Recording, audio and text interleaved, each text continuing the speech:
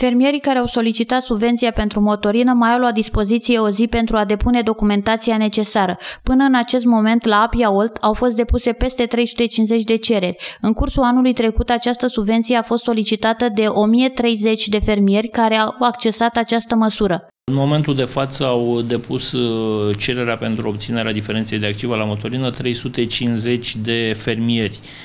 Uh, considerăm că sunt ultimii fermieri care au depus aceste cereri pentru că e vorba despre, despre uh, motorina anului 2018 și fiind vorba despre facturi din trimestru 4, acești fermieri sunt cei care au achiziționat motorina în trimestru 4.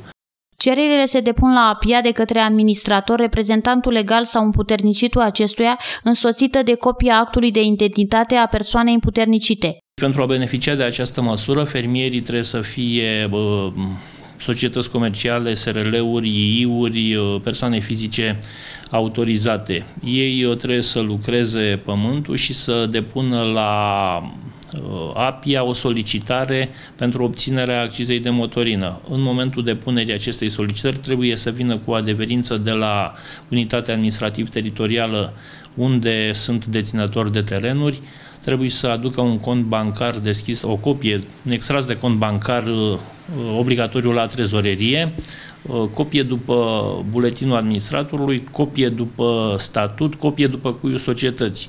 Odată depuse aceste acte, obțin un acord prealabil, acord uh, care stabilește cantitatea de motorină aferentă anului 2019.